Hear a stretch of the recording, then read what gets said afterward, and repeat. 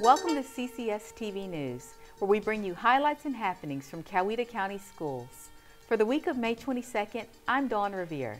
And I'm Josh Johnson. We've entered the last week of the school system's 2022-23 school year. We'll look at this week's year-end events, but first. At a called meeting on May 16th, the Coweta Board of Education appointed two new principals to take the place of outgoing administrators at Newnan High School and Brooks Elementary School.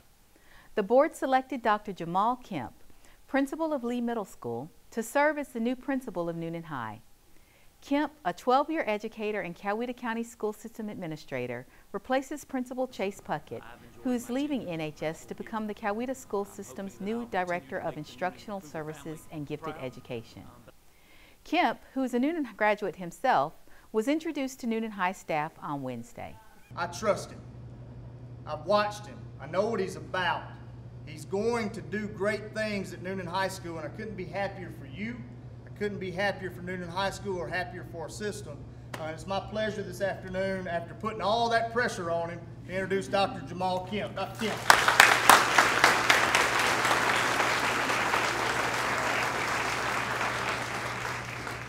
First off, thank you guys for staying the ones that stayed. The board also approved Dr. Jacqueline Stevens as the new principal of Brooks Elementary School. Stevens is a 22-year educator and has served as the assistant principal of Northgate High School since 2018. She replaces Dr. Jillian Andrew as principal of the North Coweta School, as Andrew departs to become the school system's new director of assessment and accountability. So let me welcome Dr. Stevens.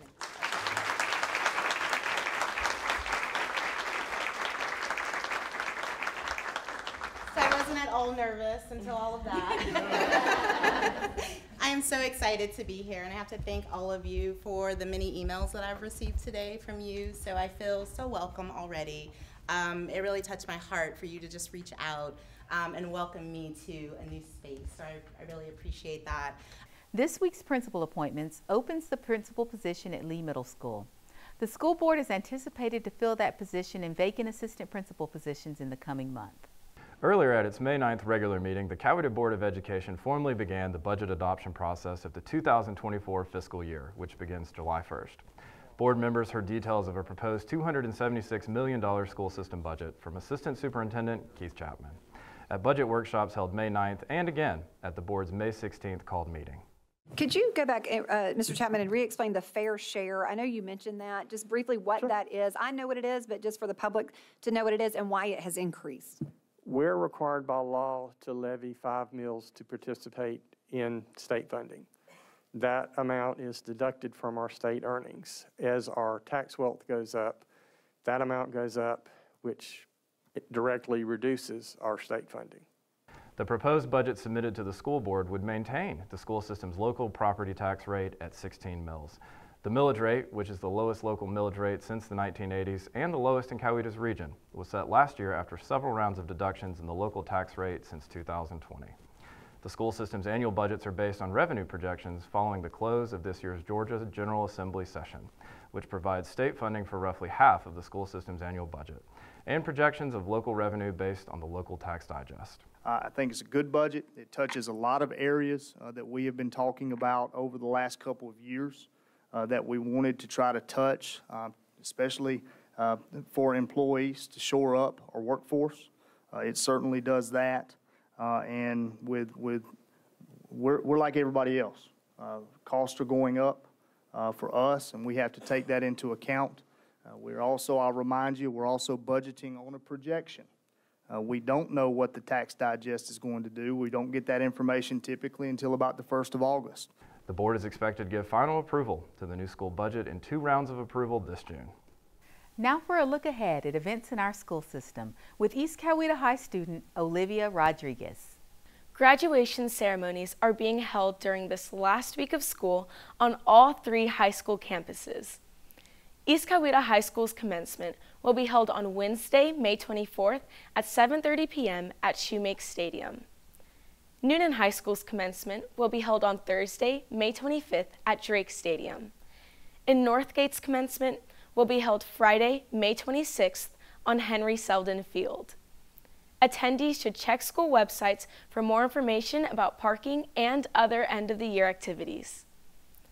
Other events are coming up at the Nixon Center for Performing and Visual Arts. On June 3rd at 11 a.m., the Georgia Academy of Dance will perform The Growing Up of Annabelle Potts, an original production by art artistic director Sherry Davis, reimagined for early childhood students. The production is set to the music of Rodgers and Hammerstein, George Gershwin, and others, and features performances by Creative Movement, Combo Ballet Tap, pre-ballet, and pre-jazz students. At 6 p.m. on June 3rd, the Georgia Academy of Dance will go on stage with contemporary performances of modern, jazz, tap, hip hop, contemporary, leaps and turns, Latin fusion, and cheer dance. And on June 4th, the Academy will perform Cinderella on stage at the Nixon Center with ballet set to music by Sergei Prokofiev. To find more information about upcoming Center Star auditions and information about tickets, showtimes, and other upcoming Center events, go to www.thenixoncenter.net. Thanks, Olivia. Also at its May 9th meeting, the school board approved an amendment to an intergovernmental agreement between Coweta County and the Coweta County School System that will allow for paving at Brooks Elementary and Eastside Elementary Schools this summer. Plan for Brooks uh, was revised to delete the additional stacking lane and to add an additional exit drive uh, from the front loop. This revision reduced the cost at Brooks from $213,406.69 to $54,236.60. The board also approved a request from the City of Grantville to petition the Department of Transportation for the installation of an automatic speed camera in the Glanton Elementary School zone on Georgia Highway 29. Mr. Chairman, a quick comment is I live very near to that area and travel 29 uh, going over that way fairly often.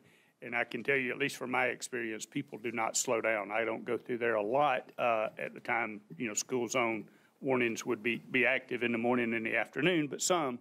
And uh, it's a major highway, and I think people think it's, you know, free for all, 55, 65, and probably more, uh, right on by the school. So, uh, good move from City of Grantville. Thank you. The board also recognized this year's star students from all three high schools. And middle school students from Bass Middle School were selected for All-State Band. Earlier this year were also honored by the board. Um, over 3,000 students uh, in the state of Georgia auditioned to be a part of the All-State Band for an 80-piece ensemble.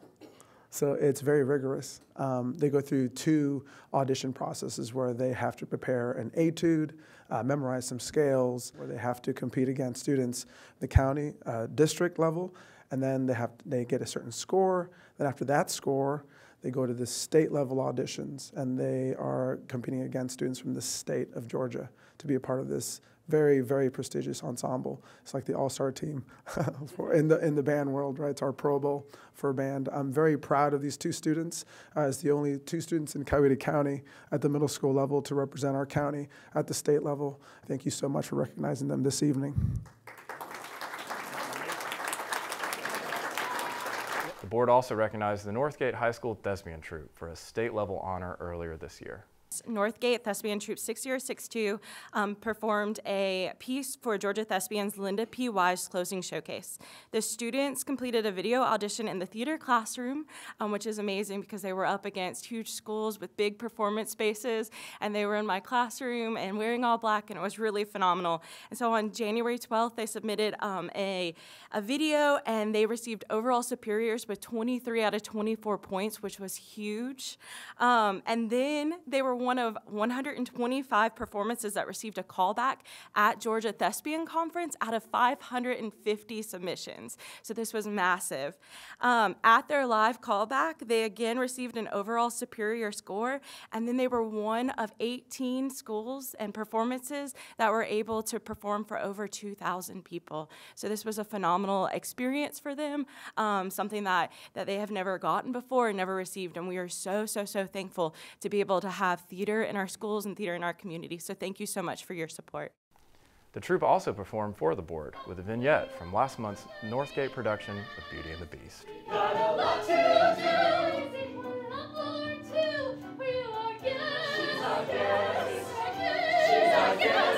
Our guest, be our guest.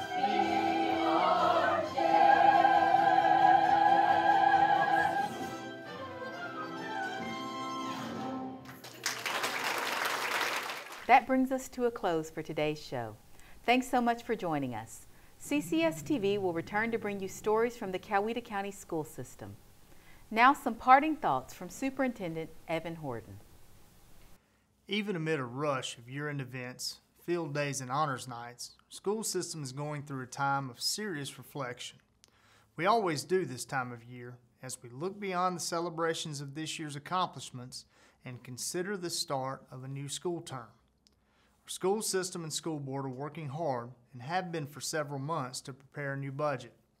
The board has to approve that budget each June in preparation for the start of a new fiscal year on July the 1st. And considering that the school system employs over 3,000 people, operates more than 30 schools with many different functions to serve our 23,000 students and their families, that's never an easy task. Our teachers and administrators are already thinking of summer training and the requirements of starting back to school in August, and hiring new teachers and other employees too to make sure we have high quality faculty and staff to start a fresh new school year. That extends to principals and leaders too. I've mentioned in recent weeks that we've said goodbye to several longtime system leaders who have reached the end of exceptional careers. It requires us to fill crucial school system positions with experienced school leaders and fill those positions with rising educational leaders in our community. These are never light or easy decisions. Principals are responsible for dozens, even hundreds of employees and hundreds or thousands of students and families. They have to manage a school that isn't just a significant piece of infrastructure, it's also the center in many ways of their community. They set the tone, establish the academic direction, and maintain and create the culture of their schools in many important ways. It's not a big job, it's a huge job. So I appreciate the leaders who have stepped forward to lead these schools. Jamal Kemp at Newnan High School, Jacqueline Stevens at Brooks Elementary, Hap Hines at Central Educational Center, and others. We appreciate good people taking on these roles, just as we appreciate their predecessors taking on important new roles themselves. And one last note, Central Educational Center celebrated its dual enrolled students on May 17th, and our high schools celebrate their graduates this week. To our 1,700 graduating seniors, good luck, God bless, and know that you have a whole community rooting for you. And to our whole Coweta County faculty and staff, great job and thanks for a great school year. We'll see you soon.